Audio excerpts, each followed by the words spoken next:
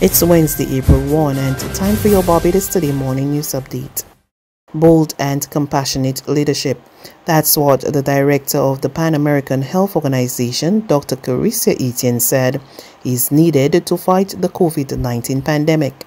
Addressing a virtual media press conference yesterday, Dr. Etienne stated that the pandemic would get worse before it gets better, and as such, countries must take aggressive preventative measures to stem the spread of the contagious virus and save lives.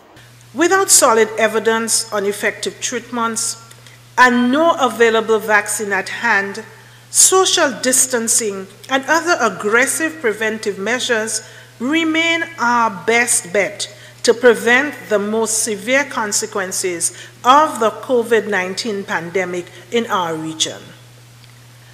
This moment demands bold and compassionate leadership. It will not be easy and we know we will be asking people to adapt to an extraordinary situ situation that is impacting everything in their lives. But let me emphasize this one more time. This pandemic is serious, and we need to do everything in our power to mitigate the impact of COVID 19 on our peoples.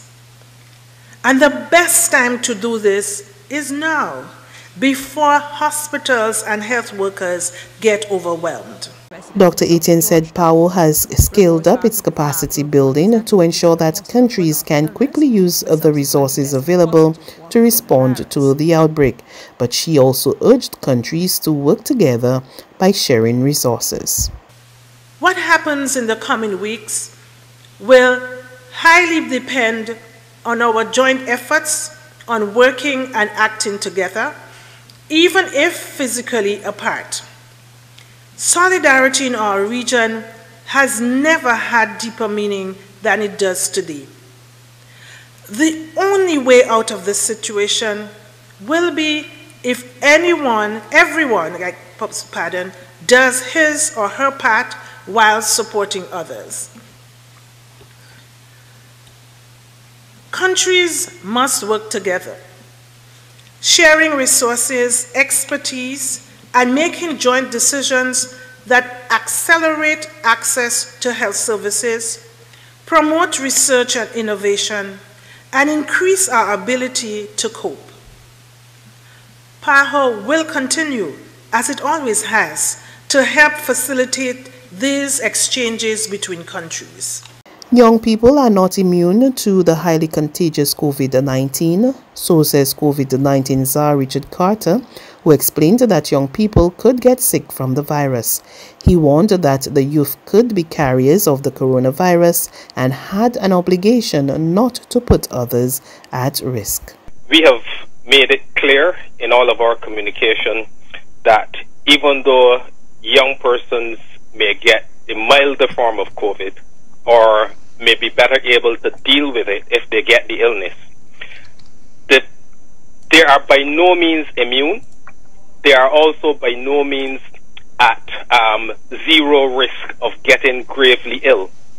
And if we were to look at the, we are reasonably early on in our epidemic, but if we were to look at the data coming out of countries that have had large numbers of cases, there are people who are dying as early as below 10, right through to um, nonagenarians, people over 90 years old.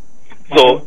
you people can die. The second thing is that what we've said to young people, and this message has been repeated several times, that you have a responsibility not just to protect yourself, but to protect your parents, to protect your grandparents, to protect those persons who may live in the household with you.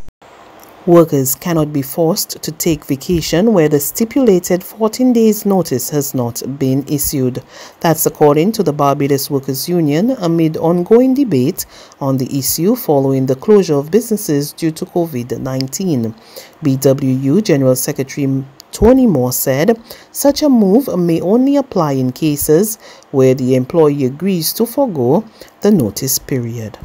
Where businesses are closed during the shutdown, employers may not force their employees to take holiday where the stipulated 14 days notice has not been issued. However, vacation may be applied where the employee agrees to forego the stipulated notice period. The Barbados Workers Union has been working with those employers who can to assist in the national effort by granting employees special leave with pay during this period of reduced commercial activity. However, where there is an employer that is unable to cover workers financially during the period of shutdown and where layoff certificates have been issued, the National Insurance Department will satisfy its obligations as provided for under the National Insurance and Social Security Act and the Employment Rights Act. There's regional and international news after this short break.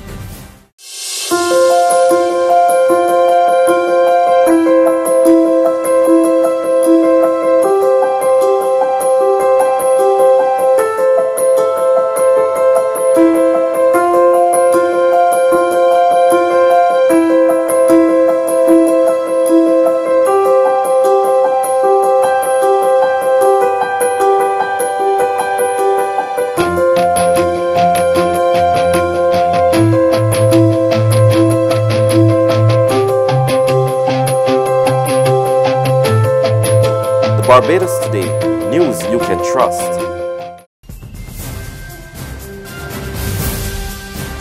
To news from our regional neighbors now, Guyana has recorded its second death from COVID 19. This as the country also recorded 12 confirmed cases of the virus. We get more in this report from Capital News. Has been identified as a 38 year old male and resident of South Georgetown. Reports are that the father of one was admitted to the hospital for another illness, but subsequently tested positive for coronavirus.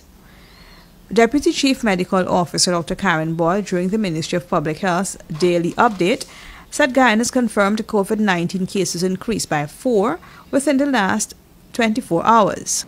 Of the numbers above, the regional breakdown is as follows one case in Region 3, 10 cases in Region 4, with one inconclusive and one case in Region 6. Of the total confirmed cases, the number of imported cases is four, and local transmission, eight. She explained that one of the 11 persons in isolation is in the COVID 19 intensive care unit. Dr. Bo- and finally, the United Nations Secretary General Antonio Guterres has launched a new plan to counter the potentially devastating socioeconomic impacts of the coronavirus pandemic. The message of the report we are issuing today is clear. Shared responsibility and global solidarity in response to the impacts of COVID 19. It is a call to action. It is essential that developed countries immediately assist those less developed to bolster their health systems and their response capacity to stop transmission. Otherwise, we face the nightmare of the disease spreading like wildfire in the global south, with millions of deaths and the prospect of the disease re emerging where it was previously suppressed. Let us remember that we are only as strong as the weakest health system in our interconnected world. That's news. But for the very latest, visit us at www.barbadostoday.bb. You can also subscribe to our e-paper, email updates, or like us on Facebook, and sign up for our breaking news alerts via WhatsApp. We're also on Izumi Media in bus terminals, as well as screenplay at supermarkets and gas stations near you. And you can also hear us on Mix 96.9 FM and Capital Media HD 99.3 FM.